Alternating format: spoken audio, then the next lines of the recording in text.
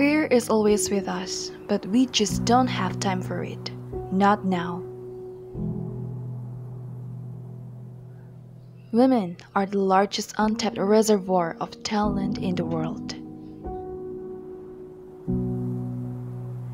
Too many women in too many countries speak the same language of silence. I suppose I could have stayed home and baked cookies and had teas. When they go low, you go high.